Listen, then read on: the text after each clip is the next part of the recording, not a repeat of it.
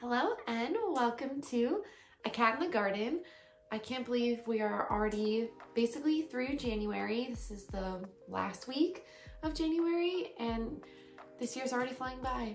I, I thought it just began, but it's flying by. We are through the crazy cold front. We are looking ahead to spring. I've been focusing a lot on my outdoor garden recently, but there's still houseplants in here and I have been doing a lot better with the houseplants. This entire month I have been repotting, I have been on top of watering, I have started to redo the fertilizer on some of them because it's a six month fertilizer and they're all due for it, but I'm getting there and I'm just doing better. So the plants are looking a lot better, they're looking a lot healthier and that is just making it so much nicer to be in here and it actually made it very hard to pick my five favorite plants for the month, but I think we did an okay job. So I'm just gonna go ahead and get to it and start off with these. These are going to be five that are just little triumphs for me this month when a lot of my plants are doing a lot better, but these especially. So the first one right here, I know it doesn't look like much and it looks a little silly right now, but I promise you this is a big triumph for me. This is my variegated spiral ginger. This is one of two that I have. This is one of my original ones and it basically turned into these two sticks. Actually, I have three. I have three. One reverted, that's why. So this is actually my second one. I got this one from a friend. It turned into the, the two sticks that you kind of see poking out here and I was like, it's probably dead, but I kept watering it anyway. And then my mom actually, when she was watching my house while I was on my honeymoon, she watered it a lot more and it shot out this piece in the middle here. And I'm probably gonna have to put nutmeg down for the rest of this to show you all, but down here, let me see. Yeah, right down here, if you can see this little nubby thing right here, that is a new growth point. So it'll push those out every so often. And that just made me so happy because that means that I'm doing a good job without my mom's help with this one. So I'm pretty happy with it. It's a very easygoing plant. I love how unique it is. I love how resilient it is. I love that it's just different from every other plant in my collection. You know, Philodendron are great, Hoya are great, Monstera are great, but I love having something different that's just like a different genus, got a different name altogether. So that is why I absolutely love this one. And I love that I'm doing a lot better with it. I am wishing I did not put it in chunky mix because that is why it's so thirsty. So I did buy a third one last year and I have that just growing in moss and it seems to be doing a bit better right now. So I wouldn't recommend putting this in a chunky mix, but I'm making it work. So I'm just gonna give myself props for that and just kind of celebrate this as a win because I absolutely love this plant and I wish I could grow it outside, but I don't think it would tolerate a freeze at all. So as long as I can keep it happy inside here, I'm gonna be happy about it. So that is my variegated spiral ginger. The next plant on my list I've had for maybe a year and a half, and I still don't think I've shown it off, but it's doing a lot better now. Well, just kind of growing a lot quicker, I would say. It wasn't ever doing poorly, but this is going to be my Philodendron Red Anderson. So I got this plant back when they were actually really rare. I traded a variegated black velvet corm for it. That's how rare that they were. And I love it. I love it so much. It's such a cute little plant. This is a hybrid of the Philodendron White Knight and the Philodendron Pink Princess. I got it as a lightly rooted mid-cut with two leaves and it has taken a long time to actually get up to this size. Like I said, I've had it for almost a year and a half now, I think. And I know it doesn't look like much, but I've had it in a prop box the entire time because it was so small, because it didn't have a lot of roots, because it took a lot of time, and I'm being patient with it. I finally took it out of the prop box. I think pretty soon I am going to pot it up. I'm a little nervous for that, but I think it is due for a repot and I think I'm going to give it a pole, something for support, maybe not quite a moss pole, but something that's going to support it so that it can grow bigger and healthier and not end up growing like a pink princess does. Because if you know me, you know that I hate the way that pink princesses grow. I hate the way that they just get the stuck leaves and they kind of get smaller. They don't get bigger unless they're in their ideal environment. So I'm really trying to avoid that with this little red Anderson. I call him Andy. It's one of the few plants that I have named in my collection, but I'm just so happy that he's here. I love him. I love him so much. He's got absolutely stunning variegation, honestly. It just seems to get better as this plant matures. So I could not recommend this plant enough. And they are a lot cheaper now, which is great for anybody out there who really wants one. I've always debated getting a bigger one because you can get them for like less than a $100 now, but I'm just happy with this guy.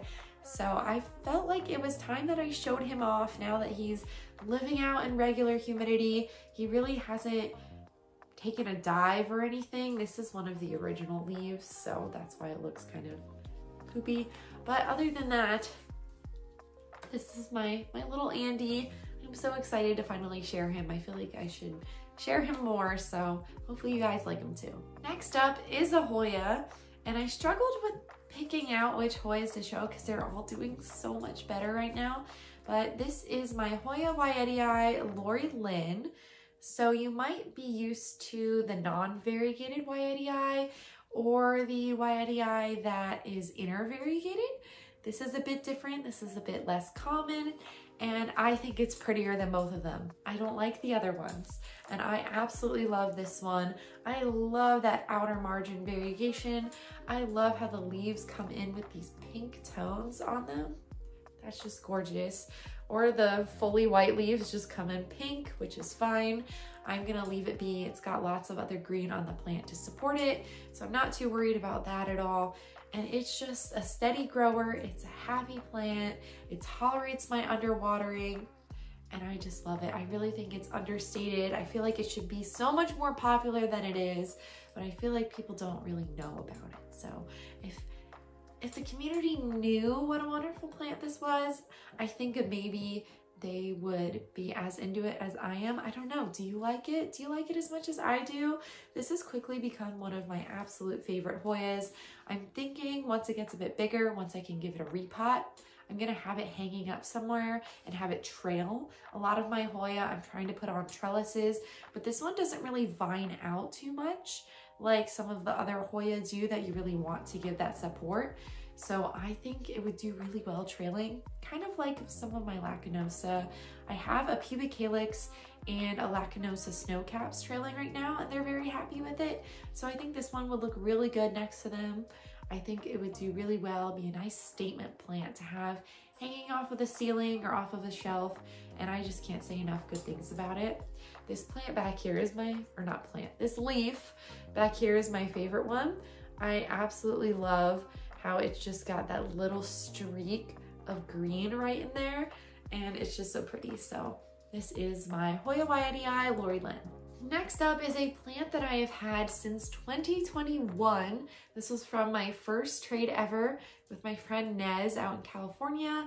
And I don't think I've ever shown it off on this channel. And I think I should change that because it's a great plant. So this is going to be my Philodendron Silver Stripe. I got it as a cutting in a trade with her back in 2021 and I kind of let it grow out a little bit and then I chopped it up so that I could make this full basket. I got this little hanger at Target in their bullseye section. It was $3. And at first I didn't really know what to do with it, but I think it's working really well with this plant. I have it hanging off of my garment rack that I have by my window and I have like little hangers attached to it that this just hangs off of and it does really well for me. It's got great variegation. There is one strand in here that has absolutely zero variegation right here, which is totally fine. We'll just kind of add some fullness to the plant. But other than that, it's had some times where it's almost had that philodendron gabby-like variegation where there's just so much on it. And other times where it really is just a stripe like this just a little stripe there. So it's got a really nice balance. It really doesn't revert on me at all except for that one strand but it came that way so I'm not really going to be mad about it.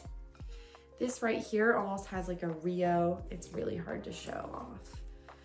There's a leaf here. It almost looks like a Rio can kind of see it right there. So there's a lot of different variety to this plant. It is exactly the same as a philodendron cream splash. There's no genetic difference between the two. So whether you buy it as a stripe or a cream splash, you're basically buying it for the amount of variegation on the plant, which is totally fine. I've also thought about maybe at times buying one of those and putting it in here just because the back is a little barren on this plant, but I don't know, it's growing pretty steadily. It's always been really happy. And I like that the leaves aren't getting smaller as it starts to trail. It's really reminding me of my big, beautiful Brazil that I've showed y'all a few times. And it's just really easy going. I can't say enough about these basic heartleaf philodendrons. I think they're gorgeous. I kind of hate calling them basic because I think they're so beautiful and they're so easygoing and they do really well. Whether you're a beginner or you really just want a couple of statement plants in your collection or you are kind of a crazy plant person like me, I think they are a one size fits all kind of plant and I absolutely love it. So maybe I'll show it off a little bit more in the future. I have taken a couple cuttings from it before, but lately I've just been letting it grow out and I'm really happy that I am. So that is my philodendron silver stripe. Last but not least is a smaller plant, but is one that I really cannot get enough of right now. And that is going to be my Hoya Patrawallii 023, also known as Icensis 23. If you saw my video of my last unboxing for 2023, that's when I got this one. This was from Sam's Hoyas. I got it in December and it has been growing ever since. So it shot up this vine right here. And I don't know if you remember, but there was a little baby leaf coming out right here.